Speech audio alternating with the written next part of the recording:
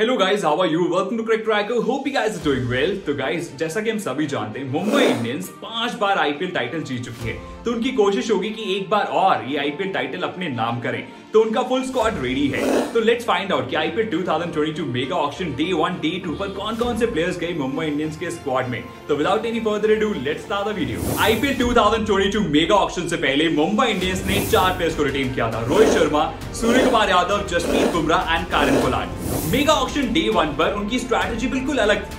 पहले दो राउंड में उन्होंने एक भी प्लेयर को नहीं खरीदा। लेकिन जैसे ही ईशान किशन का नाम आया they went all out to reacquire his services they backed him for rupees 15.25 crore जो दिखाता है कि मुंबई इंडियंस के लिए ईशान किशन कितने इंपॉर्टेंट प्लेयर है। और वो कई बार प्रूव भी कर चुके हैं। क्या धमाकेदार इनिंग्स खेली उन्होंने मुंबई इंडियंस के लिए।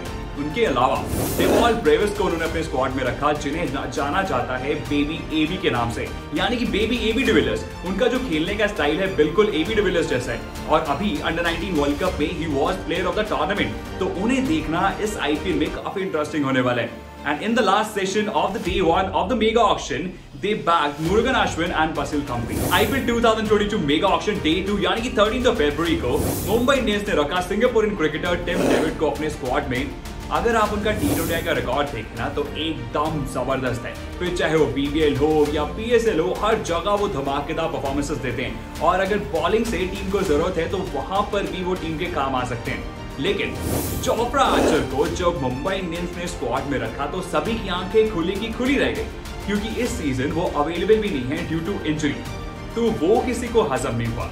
अगर फास्ट बॉलर्स की बात करें, जो कि जसप्रीत बुमराह का साथ दे सकते हैं, जो सेकंड डे पर मुंबई इंडियंस ने स्क्वाड में रखे, वो हैं Jaydev Unadkat Riley Meredith and Hales अगर स्पिन बॉलर्स की बात करें, जो कि स्पिन डिपार्टमेंट की रिस्पॉन्सिबिलिटी उठाने वाले हैं मयंक मार्कंडे संजय यादव सेकंड डे पर मुंबई इंडियंस ने अपने स्क्वाड में रखे और बहुत सारे अनकैप प्लेयर्स को भी मौका दिया गया। This is what Mumbai Indian squad looks like Rohit Sharma Kieron Pollard Suryakumar Yadav, Jasprit Bumrah Ishan Kishan, Dewald Brevis Basil Thampi, M Ashwin, Jaydev Unadkat Mayank Markande Tilak Varma, Sanjay Yadav Riley Meredith Mohammad Arshad Khan Anmolpreet Singh, Ramandeep Singh, Rahul Buddhi, Hrithik Shokeen, Arjun Tendulkar Aryan Juyal and Fabian Allen Daniel Sams Jofra Archer Tymal Mills Tim David तो Mumbai Indians का squad ready है. Well ये कहना गलत नहीं होगा कि bowling department कहीं ना कहीं फ्रेजाइल नज़र आ रहा है. तो बॉलिंग डिपार्टमेंट की रिस्पॉन्सिबिलिटी होगी जसप्रीत बुमराह के शोल्डर्स पर. अगर बैटिंग डिपार्टमेंट देखें तो वो एकदम से सॉर्टेड नज़र आता है. लेकिन रोहित शर्मा है, वो कहीं ना कहीं प्लान बना रहे होंगे.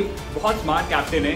तो किस प्लेइंग 11 के साथ रोहित शर्मा ग्राउंड में उतरेंगे, ये देखना काफ़ी एक्साइटिंग होने वाला है। तो guys it's time for me take leave hope you guys like this video अगर ये वीडियो पसंद आई तो please don't forget to like share and comment और आपको ये स्क्वाड देखकर कैसा लगा?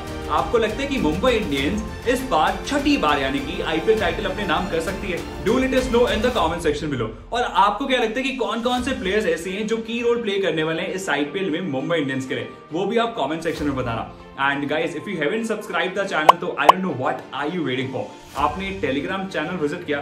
गाइज़ वहाँ पर बहुत सारे क्रिकेट के अपडेट्स हैं सिर्फ़ और सिर्फ़ आपके लिए। यू वुड बी डिसअपॉइंटेड मैं चलता हूँ, मिलूँगा आपसे अगली वीडियो में। Till then take care have a nice day